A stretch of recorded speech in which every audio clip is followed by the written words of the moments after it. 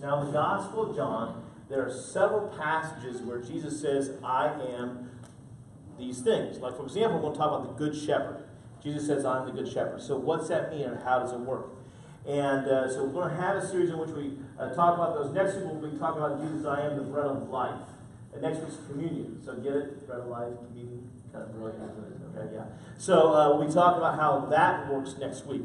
And so we're going to have all these different sayings, but I'm concerned about how we view Jesus and who Jesus is, how Jesus moves, and sometimes we can have a wrong perspective of Jesus.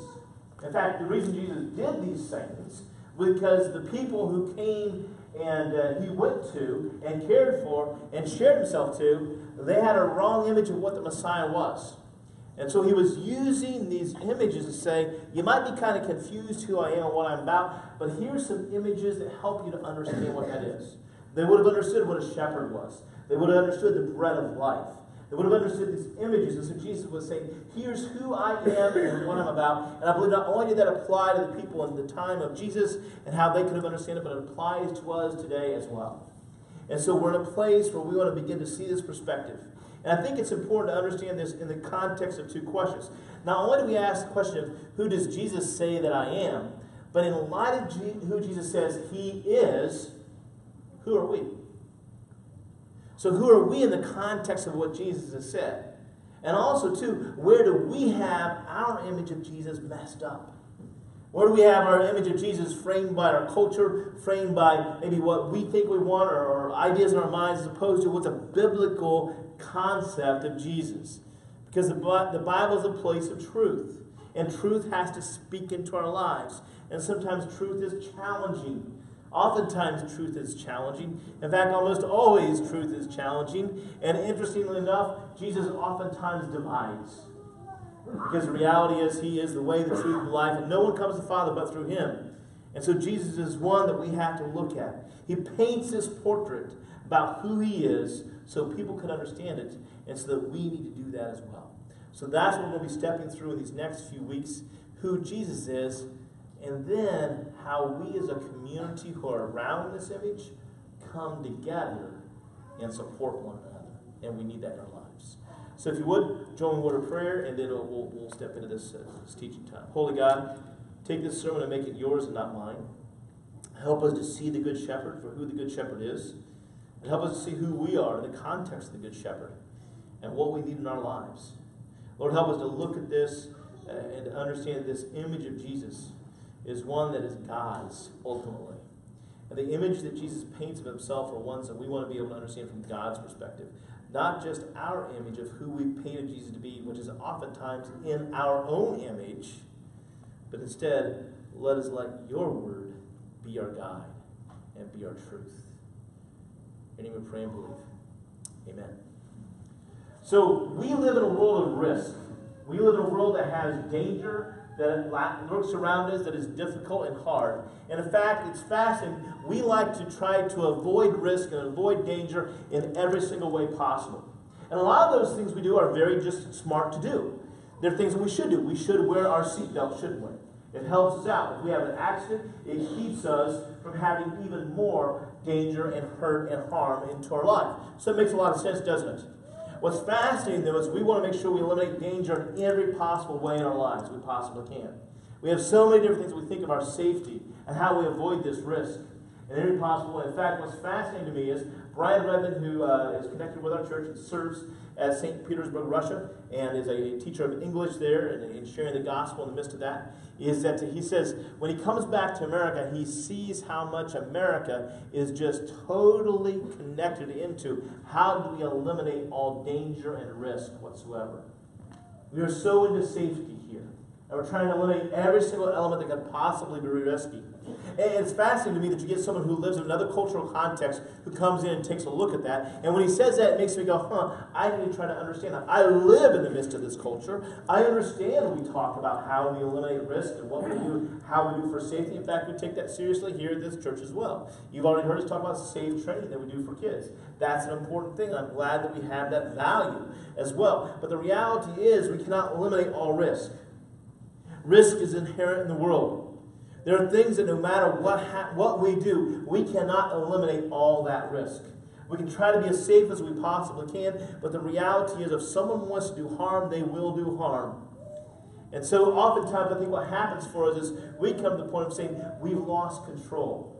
When we lose control, it becomes much more difficult and hard for us. And when we look at Jesus as the Good Shepherd, we have to realize that we put our lives into the hands of the Good Shepherd. And sometimes it's difficult because we take away control at that point in time. But I'm going to urge and say this that even though you try to have control, you cannot have control because the ultimate one who has control is God and Jesus Christ. And so it's even safer to put your hands into that one than it is in anything else. Does this mean that we aren't going to do things to keep us safe? No, that doesn't mean that. But it just means that sometimes we get this image that we have this idea of control where we keep everything safe. And really, really, ultimately, we can't. So in that case, let's look at some of these scripture verses to understand what it means of following the Good Shepherd. If we live in a world that has risk, how do we live in this world? And how do we follow Jesus on a spiritual truth and plane of what's going on. So let's start out by looking at John chapter 10. And we're going to be looking at actually uh, verse 1 right now.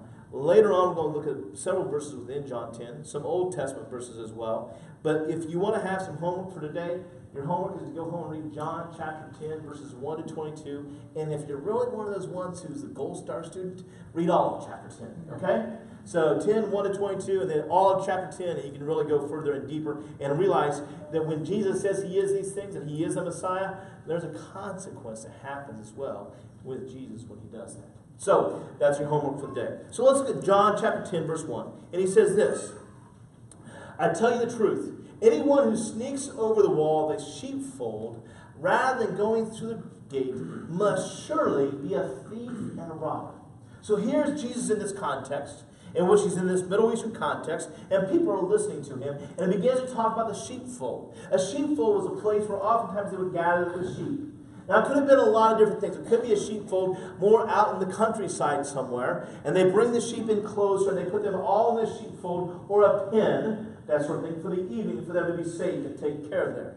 Or it could have been a sheepfold in a village. In a village, maybe uh, you would have four or five sheep, and you might have six sheep, and you might have seven sheep, you might have two sheep, who know what it was. But as they would take those sheep out to the grazing areas for the day, they bring all the sheep back in. And as they brought the sheep back in, they put them into a common sheepfold. And what was interesting was the shepherd, as they called the name of the sheep, would know exactly which ones they would go to. And so they might have this common pen that all these different ones they go to. We don't know exactly which one that he was using in his mind here, but regardless, each of those were the case. So here it is. He says, here's this sheepfold or this pen. And there is one who says, who sneaks over the wall instead of going through the gate, and that one must surely be a thief and a robber. So here's what I want to say to you today. Spiritually, when Jesus is talking about this, he's saying there is risk in this world. There is pain in this world, there's divide in this world, because there's a thief and a robber who comes in and wants to sneak over what is the area for protection for the sheep and wants to bring harm to them, wants to steal, wants to kill, wants to destroy, wants to divide families, wants to cause difficulties, wants to cause struggles. He is real and he's active in this world. However, he has no real power in this world.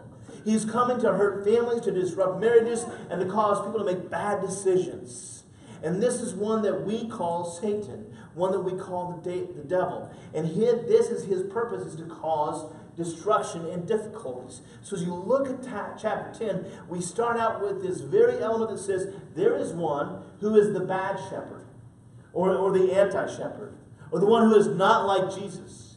And he comes in to steal and kill and destroy. In fact, if you go to John chapter 10, verse 10, he goes on and says this The thief's purpose is to steal and kill and destroy. My purpose is to give them what a rich and satisfying life. Notice that. What God's purpose is, what the purpose of Jesus is, what the Good Shepherd's purpose is, is to give a rich and a satisfying life. And, and so he has a lot of ways that he does this. He does this where he comes and brings to us the purpose for our life, a direction for our life, and how we're supposed to go. And so we have this at the very start of chapter 10 this idea that we have a shepherd who puts the sheep in the sheepfold, but there's a thief who comes in and tries to steal and kill and destroy. And the good shepherd is one who will protect the sheep from that. And also, the good shepherd's purpose is to give them a rich and satisfying life. And so that's who he is and what he's about. Now, if he's a good shepherd, and if there's a bad shepherd, but the question is, who are the sheep? Well, here's what I would say is I would say we're the sheep. And it helps us to understand this in the context of some important Old Testament references that further define Jesus as not only the shepherd, but also divine as the Messiah, and also, to who the sheep are and how they're taken care of. So, two verses that you can look at later on today are Ezekiel 34, 5 and 6, and also Ezekiel 34, 11 to 16. Now, Ezekiel 34 essentially reminds us and tells us So when Jesus talks about these things in John, he's going back to these images that are in the book of Ezekiel. And when he has these images in the book of Ezekiel, the people who are listening to him going, Oh, that's what you're talking about. So the passage in Ezekiel is talking about a time in the nation of Israel when the nation was not taken care of, the nation had been hurt, the nation was at risk, the nation was going to be destroyed, and basically the leaders of the spiritual world of the nation had left them abandoned. And this is what 34, 5, and 6 says is, So my sheep have been scattered without a shepherd. Notice that imagery. And they're easy prey for any wild animal. They've wandered through all the mountains and all the hills across the face of the earth, yet no one has gone to search for them. So here's this imagery of Jesus who says that he's the good shepherd. And it's harkening back to these days that people understand from Ezekiel. So going, oh yeah, yeah, that, that was the time when they weren't taken care of. The sheep were to, and we're the sheep, and he's a good shepherd. He's coming to search for us. And then later on in chapter 34, verses 11 to 16, says this For this is what the sovereign Lord says I myself will search and find my sheep. I'll be like a shepherd looking for a scattered flock. I'll find my sheep and rescue them from all the places where they were scattered under that dark and cloudy day and I'll bring them back home to their own land of Israel from among the people and the nations. In this context, he was talking about the nation that had been scattered and was in exile in different places from where they were supposed to be the promised land. He says, I'll feed them on the mountains of Israel, by the rivers, and all the places where the people live. Yes, I will give them good pasture land on the high hills of Israel. There they'll lie down in pleasant places and feed in the lush pastures of the hills. I myself will tend my sheep and give them a place to lie down in peace, says the sovereign Lord. I'll search for my lost ones and who strayed away, and I'll bring them safely home again. I'll bandage the injured and strengthen the weak. I love that imagery there. Bandage the injured and strengthen the weak. But I'll destroy those who are fat and powerful, and I'll feed them, yes, I'll feed them justice. So the Lord says, I will also be watching out for those who are uh, preying on those who are weak, and I will feed them justice. So we can see that that's an important thing for God in this midst. So Jesus comes to his role as a good shepherd and as a Messiah. And he helps to reconnect the sheep. Now here's one the question I want to ask is this. How many here are people who have a great internal sense of direction and know where you're going when you travel anywhere? Anyone like that? Few of you. Okay, great. Anybody here have a really bad sense of direction and get lost all the time? Good, good. Thank you so much for your honesty. And what's fascinating too is this happened in first service as well. There's about four or five folks whose spouse is pointing to them behind their heads so they don't know, okay?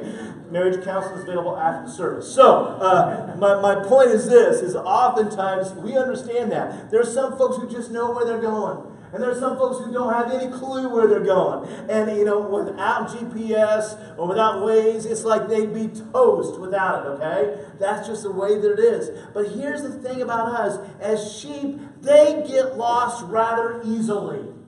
Sheep just wander off. Why? Because sheep have their head down and they're grazing and they're eating. And all the other sheep can be over here. And this sheep just having a good time and eating and eating and eating and eating. And, next thing they know, all the sheep are over here. Or they wander down a path this way. Or they wander over here. Sheep get lost so easily. In fact, check out this verse, Isaiah chapter 53, verse 6. All of us, like sheep, have strayed away. We have left God's paths to follow our own. Yet the Lord laid on him the sins of us all. So here are sheep who also get strayed away so easily and so readily, and they don't see what's happening. Sheep without a shepherd get lost. That's the principle we want to understand. And, and, also, too, sheep without a shepherd not only get lost, but they can wander over a cliff. As I was doing my research for this sermon today, uh, I was doing some research and kind of found this article that talked about in Turkey, modern day Turkey, they still have sheep that are out in pasture lands. There's still shepherds that watch over them. Imagine they have some sort of technology or whatever, but some shepherd had not done his job. And so 1,500 sheep went over a cliff. Okay? 1,500 sheep. Now, here's what's interesting is, and if you're an animal rights activist, I apologize, this might sound a little bit cruel. However, the reality is 400 of those sheep died. Okay? But 1,100 lived. Why? Because 1,100 landed on 400 that fell first. And they created a soft landing for them. Okay? My point is not so much that. I mean, again, it sounds pretty sick and rude, and I'm sure I shouldn't have used that illustration. But the point is this, okay? Sheep are stupid. Okay? And what did I say? We are sheep. So therefore, we are what? Ah, thank you so much. Pastors always want to call the church stupid and get away with it. So, you know, it's just one of those things. No, I'm kidding. I'm one of the sheep too. So they just tend to be stupid. They get lost. They wander over a cliff. And, and it makes it a very, very hard time. And think about it. Stop. We wander around. Think of a hard decision you have to make. Think of something that you're not aware of. You're like, I don't know what's going on. I don't know what to do. Well, I'm, I don't think about it. I don't know. I'm praying about it. We're, we're the same way. We wander around. We don't know what to do. And we find a cliff. And what do we do? We keep going. And we step over the cliff. And we fall and get hurt. Hopefully, there's not 1,100 more of us coming after us, you know, at that point in time.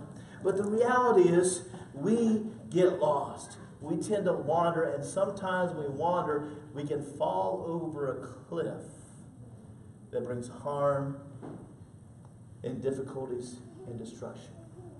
Now, let me also find out this. How strong and defensive do you think sheep are? Okay? Not very. What do we normally think of when we think of sheep? Oh, soft, cuddly, warm. Aren't they nice? What do we think of when we think of uh, wolves and critters? They have fangs, they have claws, and they run fast, and they catch up to sheep. And sheep are all of a sudden in trouble, right? Okay, now, by the way, I'm not trying to make wolves negative there, but my point is this. Here's the deal sheep are defenseless, sheep can't protect themselves. If anything, they'll come together as a, as a, as a body, that sort of thing. But unless the shepherd's there, they're in trouble. And without the body of Christ, we're defenseless. Without the armor of God, we don't have any defenses ourselves. If we as sheep are not careful without the good shepherd, we'll be devoured. And how oftentimes do we feel that way? When we ourselves are overwhelmed, when we ourselves are not sure what's happening, let's face it, many times we feel like we're going to be devoured. Or many times we feel like we are devoured. And you ever feel that way when you just feel consumed and overwhelmed, you're alone, you're scared, and you have no defenses? We need the good shepherd who is the best defense for us of all. And see, here's another thing about sheep they are very stubborn as well. Okay? Now, look at the person next to you and say, I think he's talking about you. Go ahead. Good. Marriage counseling is available after the service. So, at any rate, here's the deal. Yeah, some people are still arguing. No, it's you. No, it's you. No, it's you. No, it's you. Okay? You're stubborn. Okay. Both of you. So, the point is this uh, one pastor shared this story about sheep who are walking in those hills and those cliffs and that sort of stuff like that, and they walk through an area where there's two rocks that are together. Okay. Now, if you've ever been through an area like maybe you've gone to a cave or maybe you've gone to a hiking place, and you try to walk through and you kind of get through and you have to suck in your stomach if you're like me or something like that, and you can barely get through. But if you get through and you can't go through, what are you going to do? You're going back up, aren't you? Well, here's what they said sheep will walk through and they're so stubborn, they'll just keep going. And they'll get stuck. They're so stubborn, they'll do that. And they'll actually not back up. Is that stubborn? They'll just try to make their way through there. But a good shepherd is the one who come in, pull them back, and pull them away, and set them on another path. That's a different section for us. And so, sheep can be stubborn. Now, how many people here have ever raised sheep or had sheep in their in their Anybody here? A few of us? Okay, yeah. Do sheep smell nice when they're wet? Okay. Sheep stink to high heaven, okay? People think pigs stink. Sheep stink way more than pigs especially when they're wet and that sort of stuff like that. They're ones who just have to be taken care of. And when you stop and think about it, the bottom line is sheep are dirty, and the only way that we get this nice, white, warm, cuddly, nice sort of sheep is if they're cleaned. And here's the bottom line we're dirty as well, and we need to be cleaned. Amen? We're filthy, and we need a Savior. So sheep will run away. Sheep are vulnerable. Sheep need community. Sheep need mm. protection. Sheep need cleansing. Sheep by themselves are incredibly vulnerable and they need a good shepherd. So, what does a good shepherd do? Well, one of the passages that talks about a good shepherd is Psalm 23. Now, Psalm 23 is one of those verses that a lot of us know. We usually hear in the context of a funeral. But here, the very first verses of Psalm 23 says this The Lord is my shepherd, I shall not want. He makes me to lie down in the green pastures. He leads me beside the still waters. He restores my soul. He leads me in right paths for his name's sake. So, what's this tell us? It tells us that the good shepherd guides the sheep. He tells them where they go. Listen, it says, He makes me to lie down in green pastures. He lead, the Lord is my shepherd, I shall not want. He provides for me as well. Those things are important. He takes them to where they need to be. He leads them beside the still waters. If you've ever been to a river that is fast moving, Stop and think what it's like when even you step into it, you could be afraid that you could be swept away. How much more for, more so for a sheep to step into the water to get a drink and then go in too far and all of a sudden this land gets pulled away down the water. Sheep drown in these instances. So the good shepherd leads them beside the still waters. The good shepherd takes them to the green pastures. And the good shepherd is the one who puts them in the paths of righteousness.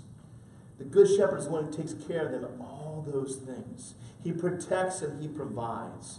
And think of it that a shepherd oftentimes carries a rod and a staff. And that rod helps to pull the sheep back when it's needed to. It might guide the sheep in a different direction. It might divide them if they need to be divided. It's the one that also protects them if a wolf comes, protects them in different ways. The good shepherd uses his rod and his staff to be able to take care of them in the way that happens there. There's also correction that can also occur for them to know what's going on. Hebrews chapter 12, verses 10 to 13 says this For our earthly fathers disciplined us for a few years, doing the best they knew how. But God's discipline is always good for us, so that we might share in His holiness. Now, don't we love discipline? No, we don't like that, do we? But yet, look at what it says God's discipline is always good for us. Why? so that we might share in his holiness, his righteousness, that guiding, that protecting, that providing, all those things there. It says, no discipline's enjoyable while it's happening, it's painful. But afterwards, there will be a peaceful harvest of right living for those who are trained in this way. So the Good Shepherd trains us in the ways of righteousness so you're able to go and have a straight path. In fact, the verse goes on to say, So take a new grip with your tired hands and strengthen your weak knees. Mark out a straight path for your feet, so that those who are weak and lame will not fall, but become strong. So we can see that this all helps us in a good way. That's why we have the Good Shepherd.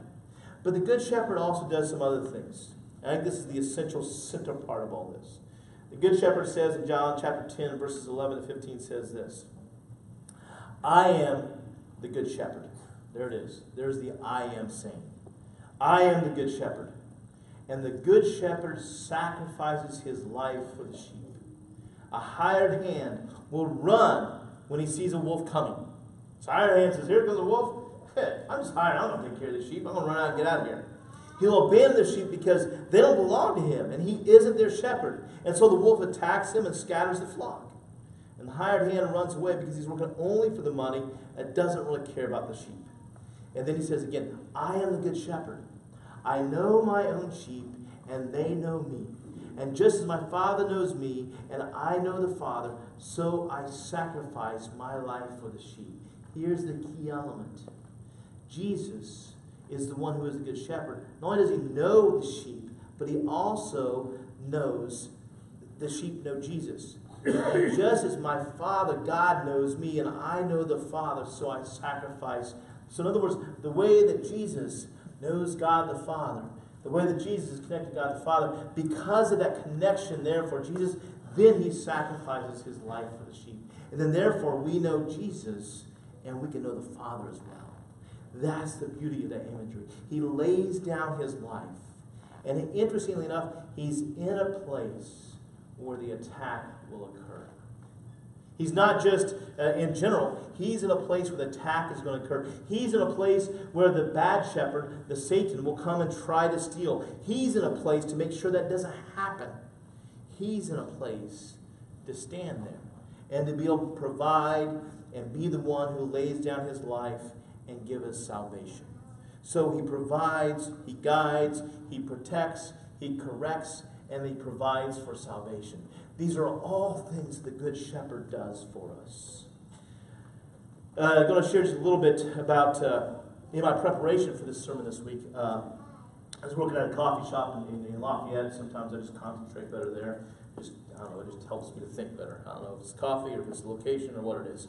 So I was doing some, some work on this, uh, reading the commentary from uh, uh, book of John, doing some different things online, trying to find that little sick story about the Turkey sheep, you know, sort of thing that fell down the cliff. So I'm doing that sort of stuff. But at the same time, I also had the, the, the news, the internet on, you know, I saw some news feeds that come across.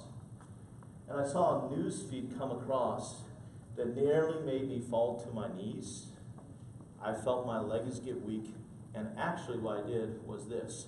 Yes! Like this. And everyone in the coffee shop is thinking, what's wrong with the weird dude over there? okay? And the news feed was this, and I used this yesterday at the Abby and Libby uh, celebration of life. Uh, one of my prayers has been during this whole thing with Abby and Libby is that God would move in the heart of the person that did this so much that the person would just confess.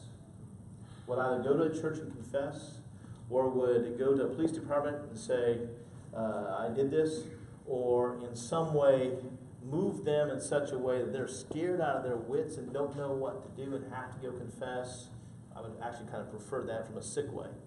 Uh, or they would just go and say, I got to get this off my chest. Here's what I did. And I'll be honest with you, as I share that privately with folks, most folks laugh at me. Most folks say there's no way that'll ever happen.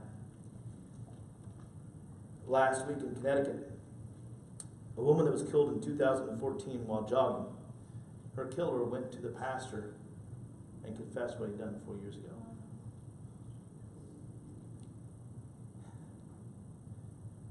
When I read that, like I said, I just had to throw my arms up in, in delight and joy. And, and, I, and really, my legs, I felt them go weak. I really thought I was going to fall down into a puddle on the floor, and I didn't want them to call the cops. So, you know, what happened to you? I read the internet. Okay. Uh, but for me, it was a moment of, of hope that was needed, and I shared that with the folks yesterday at the Abby and Olivia Memorial. Like I said, normally I've done that privately, but I just decided that now was the time to be more public about that. That God would move in a way that would make no earthly sense. Yeah. See, it makes no earthly sense for someone to confess to something like this, but it makes every bit of heavenly sense. And I believe this that the Good Shepherd is the one who moves in things and makes things right that cannot be made right on this earth.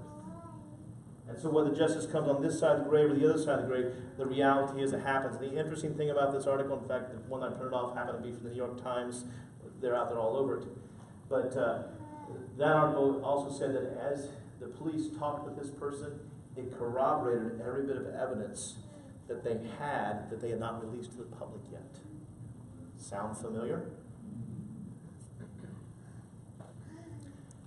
I don't know what it means for us here today. All I know is what it meant for me when I was working on my sermon. And what I know is this the Good Shepherd is the one who provides. The Good Shepherd is the one who brings salvation. And the Good Shepherd is the one who will make all things right in the end. Amen. And we can believe in him.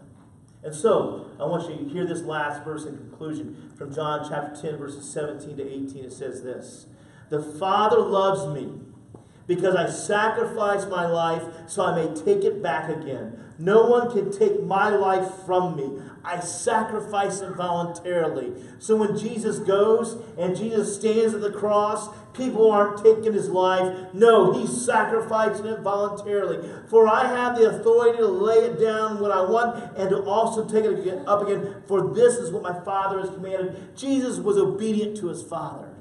And because he was obedient to his Father, he laid down his life. He represents the Father's love for us. That's why the Father loves him. And the love is overwhelming. And the love is for all people. And the love is for the Father of the shepherd who protects and saves the sheep. And so, we as sheep want to run away. We as sheep are vulnerable. And we as sheep need community more than ever. And the shepherd lays down his life to honor God who gave him where he was supposed to be and his task. And so, I just want to ask you this question Is the Good Shepherd your shepherd? Have you ever confessed Jesus as your Lord and Savior? Have you asked Him to be your protector? Have you asked Him to be the one who loves you? Have you asked Him to be the one who redeems your sins? Again, I said it last week, but I'm going to mention again. If you think that coming to church is just about checking off boxes to say that you're good enough, you are wrong and you will be bound for hell. That's all there is to it. Okay? Amen. And I'm just letting you know that. It's not for me to say, hey, eh, that's not going to work. The thing is, when you submit to the one who is the good shepherd and say, take away my sins and forgive me, he'll give that to you. And then out of response, you'll be obedient like the good shepherd is. Did you notice that? The good shepherd says, I'm obedient to my father because I and the Father are one. And so then when we have the Good Shepherd in our lives, we become one with the Father. And guess what? We can then be obedient in the paths of righteousness and holiness. And He makes us complete. So, I'd like for you to pray this prayer if you've never confessed the shepherd as your shepherd. And I'd also like for you who need to be able to say, you know what, Jesus, I need you to correct me and make me right where I'm wrong, to pray this as well. And He will do that. So if you would join me in prayer. Holy God, I need you in my life. Forgive me of my sins and be my good shepherd. Thank you for providing a way to the Father. Thank you for forgiving my sins. I trust you as my Savior and will live with you forever. Thank you for loving me, God. And let me be whole and complete with you. Lord, when I have strayed off the path, bring me back to your path. When I need a new direction, point me in the right way. When I need protection, let me put on your armor. When I need a new way of thought, let me use your word. Forgive me, Lord, and let me follow you. Amen. That's where we stand today.